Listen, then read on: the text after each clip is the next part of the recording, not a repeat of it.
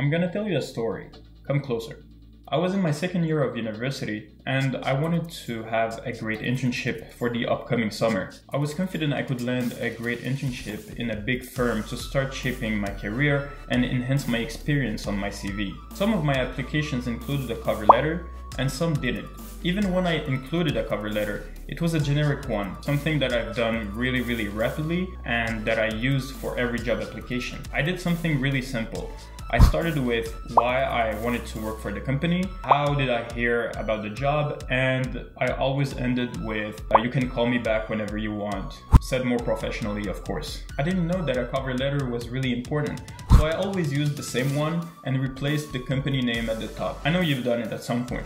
If you're still doing it though, this video is for you. As you would have guessed, I didn't get any callbacks that year. I decided to try new things and experiment a bit on my cover letter, but it was too late during that year to get an internship for that summer. And that's why over time, I understood that cover letters are still important nowadays and that employers do take the time to read them properly. I managed to have many callbacks the following year after applying relevant changes that I've discovered the year before. And today in this video, I want to show you how to write a cover letter properly.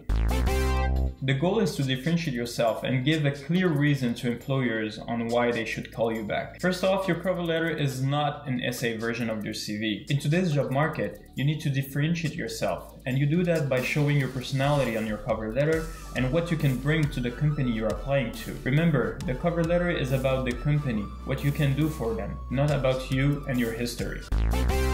The first paragraph is the most important one. You need to grab the attention of the reader so that he can read the whole cover letter. State who you are, what do you do, and why do you want to work for this company. Please avoid cliches like you're a multinational with a lot of opportunities. Stay original. The second paragraph should state the skills that you've learned in your past role and that applies to the current role you're applying to. Please include skills that were not mentioned in your CV.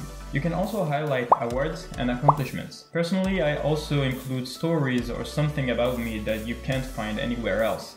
That makes my cover letter memorable and personal. At the end of this paragraph, you should connect all this information that you just mentioned, the awards, the accomplishments, your skills, etc., to why you're a good fit with the role and the company.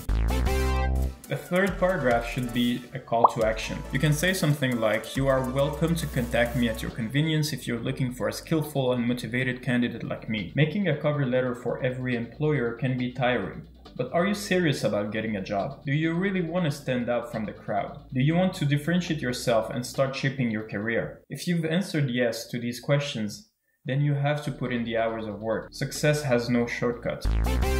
To sum up, you have to say why you're a good fit with the company and the role. You have to include skills that were not mentioned in your CV, and you have to make it personal, but not too much. Thanks for watching. If you have additional questions about cover letters, just tell me in the comment section below. Don't forget to subscribe so that you won't miss any of my future videos on recruitment and job hunting for students. Ciao!